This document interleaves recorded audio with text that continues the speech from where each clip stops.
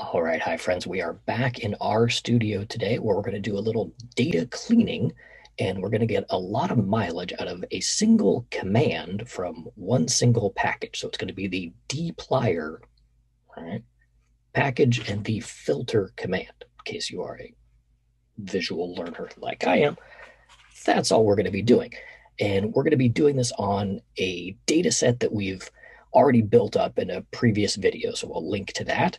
Uh, and it's this World Bank World Development Indicator data set that is real easy to get.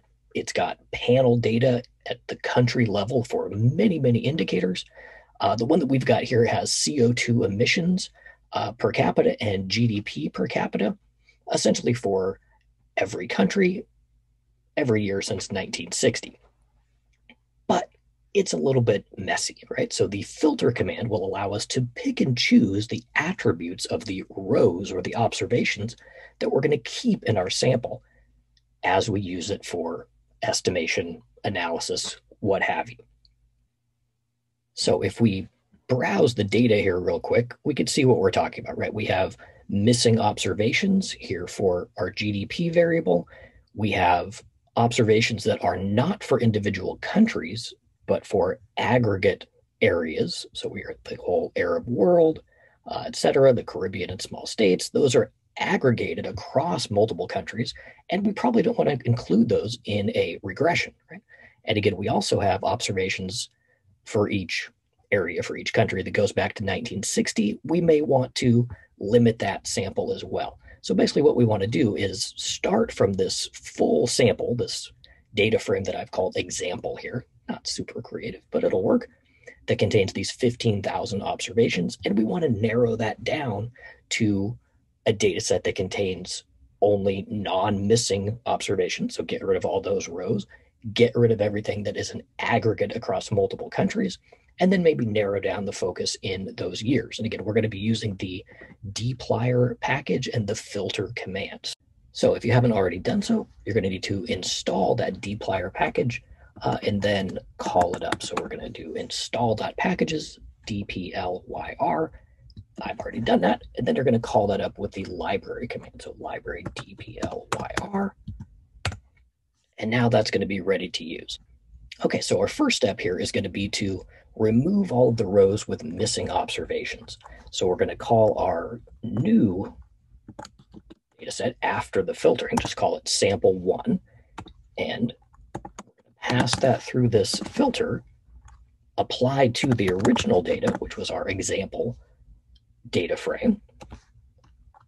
And what we want to do is keep all of the rows such that CO2 is not missing, not equal to NA, and GDP likewise is not missing.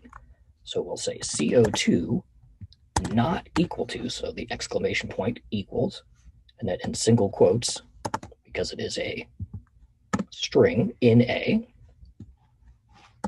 and GDP not equal to NA as well. So now what we see here is our sample one has been created and we've winnowed that down from the original 15,000 some odd observations down to 11,000 some odd observations. So all of those rows with missing observations have been eliminated. Check. The next thing we want to do is apply the filter to remove all of those aggregates, right? So we just want to look at individual countries in our sample. So we can just kind of keep going, call this sample two, and we'll apply the filter to what we just created, the sample one, and then winnow that down. And what do we want here?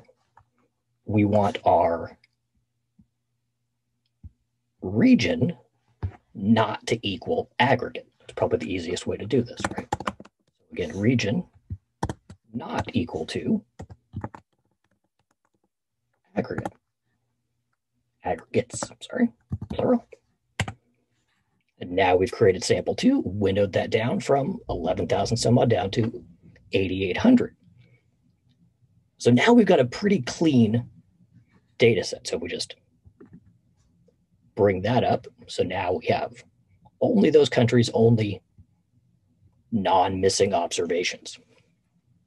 So now you kind of get the idea, right? So now we can apply this to remove certain years.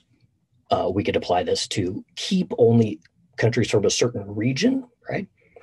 And we are off to the races, right? So let's just do one more just for fun. So let's create a new sample, call it sample three. And apply the filter to our sample two. We keep narrowing it down. And let's say we only want to keep years after the year 2000. So year greater than 2000. And now we've got 3,000 observations to play with, still across every country. So lots more you can do with that dplyr package, but just to kind of get a feel for you know, the easy way to narrow down your data set, uh, eliminate information that you don't need. Uh, so now we can say attach sample three. And if we wanted to run a regression, right, say regression one equals linear model, CO2 as a function of GDP, this will just be applied to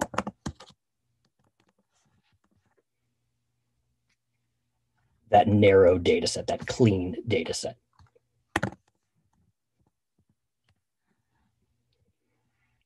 There we have our intercept and our slope, and we see at our degrees of freedom here, that 3,115 observations from sample three, right? So that should get you started. Hopefully you found that useful.